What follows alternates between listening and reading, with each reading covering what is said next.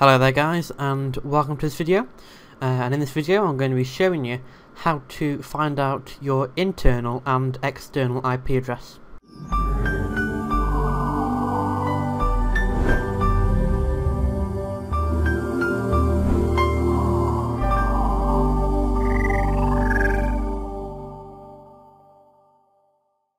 Okay then, so uh, we'll go with external first. So this is your IP address that your ISP has given you. This is basically uh, each internet line has one, uh, and this is just a series of numbers that tells the internet uh, where you are. Okay, so um, first thing to do, I'm using Windows XP on this, but the method is exactly the same on Windows 7 or Windows Vista. Okay, and you go start, Internet Explorer, and we need to type in what's my IP, and it'll say your public IP address is whatever. Now I've blurred that out because uh, I'm not showing you mine, but that is where your IP, address will be. You can click on the um, IP address, uh, what's my IP.org, and it will show you show you your IP address there. Okay, so Next thing to find out is the internal IP address.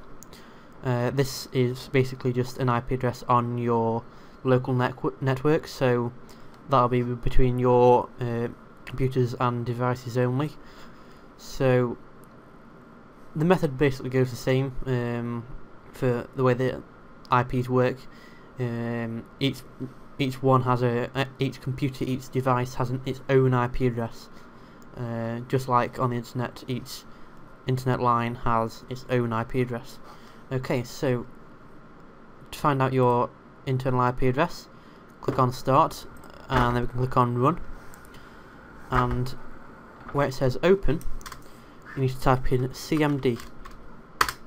That stands for Command Prompt. So go ahead and press Enter. It may come up if you're running Windows 7 uh, saying do you want to allow this application to, to run.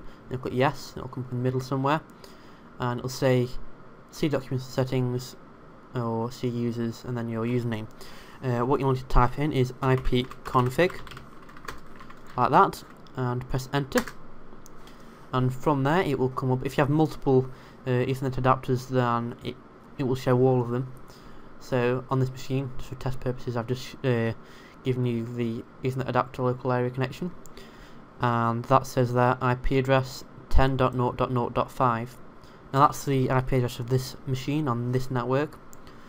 It could vary. It could um, you could end up with an IP address uh, of either 10 dots and then numbers after that, or it could be 192.168 dot and then there's some numbers after that. So that could be 168 dot 1 dot and then whatever number your uh, machine has picked up off its DHCP server.